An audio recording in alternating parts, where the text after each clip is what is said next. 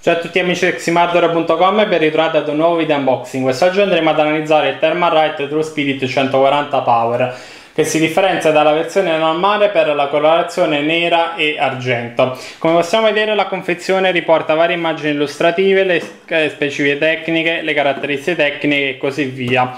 Procediamo dunque all'unboxing del prodotto. Una volta estratto dalla confezione troveremo all'interno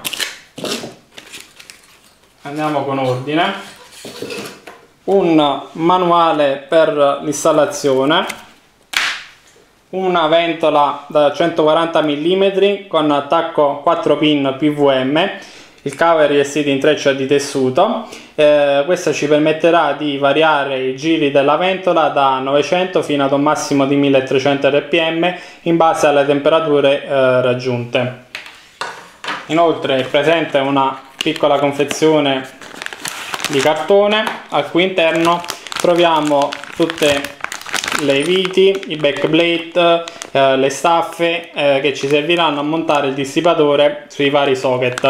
Il Thermalright TrueSpeed 140 Power è compatibile con gli ultimi socket della Intel, quali gli 1150, 55 2011 e gli AMD eh, M2 Plus, AM3 e così via.